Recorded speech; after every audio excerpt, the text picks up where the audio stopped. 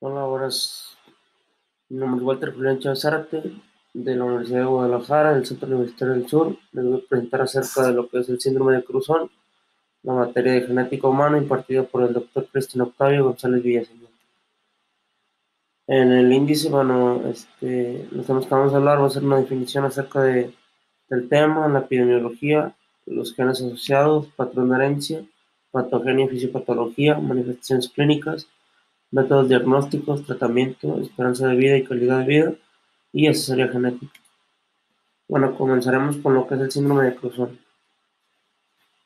Bueno, el síndrome de Cruzón es un defecto de origen congénito que, bueno, manifestado principalmente por malformaciones en el cráneo, específicamente ocasionado por un cierre prematuro de lo que son las suturas craneales, sutura coronal, sagital y lamboidea, mismo que produce severos cambios en la conformación de la cara y el cráneo.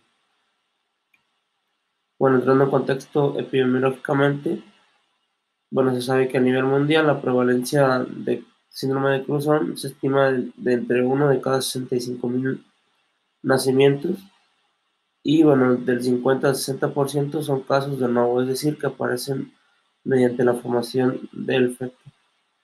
Bueno, este, como sabemos, la craniolistia es una manifestación de lo que es el síndrome de Cruzón y bueno, esta constituye 4.8% de todos los casos de craniosynestosis, que como tal es la fusión de las suturas craneales.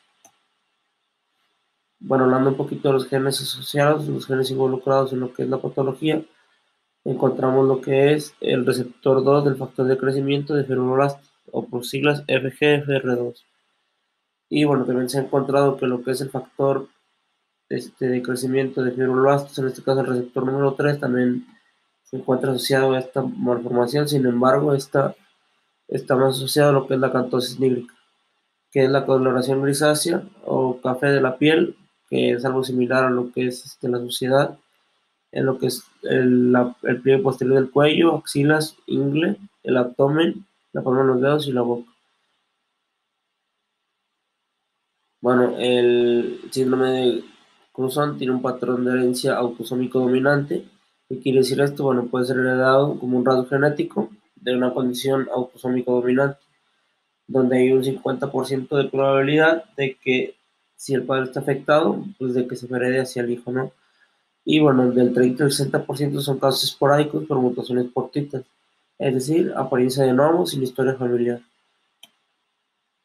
Bueno, continuando un poquito con la fisiopatología, Sabemos que cualquier mutación en este gen, en el FGFR2 específicamente, eh, da lugar a lo que es el cierre prematuro de las suturas craneales, también conocido como craniosynestosis. Y bueno, también puede dar lugar a complicaciones fisiopatológicas, tal lo es el crecimiento deficiente de lo que es el cerebro, también conocido como microcefalia. También puede llegar a ocasionar algunos casos lo que es la hidrocefalia, que es la acumulación de una cantidad excesiva de líquido cefalorraquídeo en el cerebro y bueno, además otras complicaciones como la compresión de los nervios ópticos y auditivos, causando en el caso de los nervios ópticos exoftalmos, que es la exaltación de los, del globo ocular, y bueno, en el nivel de los, de los oídos, infecciones recurrentes que pueden ocasionar la pérdida de la audición. Hablando un poquito de las manifestaciones clínicas, el síndrome de Cruzón se caracteriza por una triada con deformidades del cráneo, cara y los ojos. Podemos dividir las manifestaciones clínicas en las usuales y en las menos frecuentes. En este caso, cabe mencionar que la severidad de las manifestaciones va a variar según pues, el grado de afectación. En las manifestaciones que usualmente encontramos, encontramos lo que es la exoftalmia bilateral, que es el exaltamiento del globo ocular, en este caso bilateral por las dos, este, en este caso los dos ojos. También tenemos lo que es la nariz en pico del oro, como podemos observar en las imágenes superiores.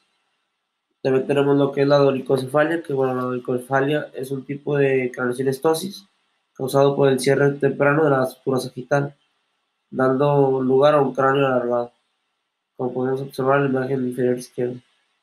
De igual manera también se puede encontrar lo que es la trigonocefalia, que de igual manera es un tipo de craniosynestosis. Sin embargo, este es causado por eh, un cierre prematuro de la estructura frontal, como lo podemos observar en la imagen inferior derecha. De igual manera, tenemos lo que es maxilar superior pequeño, maxilar inferior más grande y pues puede haber pérdida de la audición. En los hallazgos odontológicos encontramos una mordida cruzada anterior y posterior, como podemos observar en la imagen, los dientes no están a la misma altura. También encontramos lo que es el apiñado dental, que pues es el conjunto de, dientes de manera más pegada, y bueno, un polar estrecho. Y bueno, ya como menos frecuentes encontramos lo que es el labio fisurado y el paladar fisurado, como podemos observar en las imágenes de la derecha. Bueno, pasando al tratamiento. El tratamiento va a depender de lo que es este, la afectación, qué tan grave sea, qué tan severo, y bueno, este, de las malformaciones específicas además del patrón de crecimiento craneofacial y las necesidades psicológicas de cada paciente. De igual manera, el tratamiento se tiene que iniciar de manera temprana y comienza desde el nacimiento con intervención odontopediátrica. Así como se puede dar un tratamiento tardío en el cual se alteran alteraciones como dolor de cabeza, vómitos, lo que es una visión o audición afectada y bueno, puede haber una disminución del rendimiento escolar que pues debe tratarse. De igual manera es importante lo que es el monitoreo de las afectaciones que se pueden dar a nivel de la audición y de la vista y bueno, esto para eh, un tratamiento terapéutico de manera oportuna. De igual manera puede haber una intervención quirúrgica, la cual puede variar según el tipo de intervención y la prontitud con la que se realice la misma ello para evitar este, complicaciones graves de la, del síndrome de Cruzón. De igual manera, se puede realizar la cirugía para separar lo que son las suturas, que se lleva a cabo durante el primer año. Esto pues con el objetivo de, como tal, evitar complicaciones graves como el crecimiento inadecuado, en este caso, tratando de que el crecimiento sea adecuado, una descompresión del nervio óptico y auditivo y reducir la presión eh, cerebral ocasionada por la craniostosis. Bueno, para el diagnóstico, eh, tenemos un diagnóstico clínico médico, el cual el, el, médico puede darse cuenta a través de lo que son las señales físicas y síntomas del paciente en lo que es el nacimiento o la niñez temprana. De igual manera, es necesario hacer eh, un diagnóstico diferencial, esto con el objetivo de diferenciar algunas enfermedades que también pueden estar asociadas a este tipo de, a este tipo de gen. Eh, en este caso hablamos del FGR1, FGR2 y FGR3 y bueno, de igual manera pues con las manifestaciones clínicas. Por último, también podemos este, apoyarnos de lo que son los estudios complementarios, tales la radiografía, la imagen de resonancia magnética y la tomografía computarizada.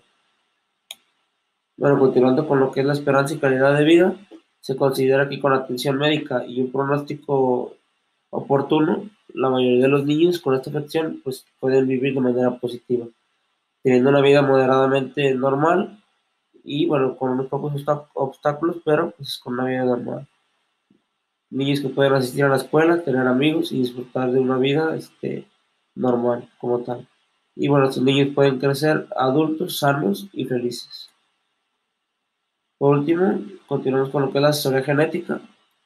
Bueno, como saben, debido al patrón de herencia, si un padre es portador, tiene un 50% de probabilidad de que su hijo herede el rasgo. Entonces es necesario que si el padre sabe que es, este, está afectado, pues es necesario acudir a lo que es atención de, con un genetista y un médico. De igual manera, si los dos padres están afectados, habrá un 75% de probabilidad de que su hijo herede el rasgo. Bueno, por mi parte es todo, espero les haya gustado la exposición. Y bueno, este, me despido de ustedes, no sin antes recomendarles el canal de Biogen este, darle like a este video, suscribirse y activar la campanita para nuevos videos. Hasta luego, gracias. Bueno, esto ha sido todo por el video de hoy. No olviden darle like, compartan los videos, suscríbanse al canal y si tienen alguna duda pueden dejarla en la cajita de los comentarios. Nos vemos hasta el próximo video. Muchas gracias.